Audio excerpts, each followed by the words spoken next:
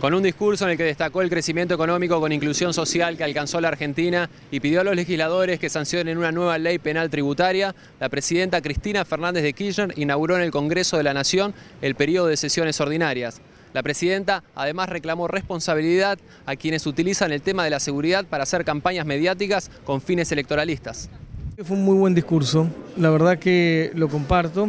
Eh, fue un discurso además lleno de contenido, un discurso que hace un balance profundo sobre estos años, eh, un balance positivo que nosotros compartimos sobre la importancia del año 2010 en el crecimiento de la Argentina y además también, además del balance, presenta una agenda abierta, pendiente, porque da la sensación de que con toda la fuerza de los pasos positivos dados hay que encarar las cosas que todavía están pendientes y faltan. Me parece que en materia de seguridad hay que ser muy responsable, que no se puede utilizar este, para las campañas electorales. Me parece que es un tema que hay que abordarlo con mayor seriedad y muchas veces vemos que está utilizado este, también no solamente por los sectores que quieren generar un clima determinado, sino también por los medios en muchos casos. Bueno, eh, me parece que es un tema serio, que hay que abordarlo con responsabilidad, con seriedad entonces comparto las opiniones de la Presidenta. Obviamente cuando hace un informe la Presidenta de la Nación va a destacar las luces de su gobierno nosotros como oposición escuchamos respetuosamente.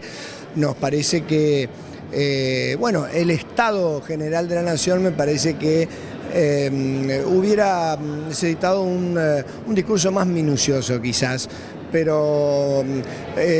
vamos a acompañar lo que la Presidenta de la Nación nos ha pedido a pesar de ser un año electoral. Nosotros vamos a redoblar el esfuerzo que ella nos pide, vamos a tratar diversas leyes, las que la Presidenta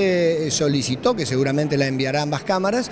o alguna de las cámaras y también una agenda que tiene la oposición. Yo espero que se pueda avanzar sobre todo en el sistema energético que habló la Presidenta para el nordeste argentino, que tanto necesitamos, sobre todo gas natural, y cerrar el sistema energético de todo el nordeste argentino, porque la diferencia en no tener energía en Corrientes o el nordeste argentino es el desarrollo o la pobreza. Lo ha dicho la Presidenta en este discurso y creo que se lo he escuchado al gobernador Scioli en más de una oportunidad, cuando eh, frente al hecho delictivo eh, y frente a la tragedia hay eh, un uso de esa tragedia con otra finalidad. Y, y, es una falta de respeto incluso al dolor que sienten los familiares. y por otra parte me parece también que quedó blanqueado algo, que Em, más allá de, posiciones este, partidarias, eh, la realidad es que el combate contra la inseguridad es un combate que lo tenemos que dar todos. Iniciativas como eh, seguir em, aportando desde el Estado a fortalecer la situación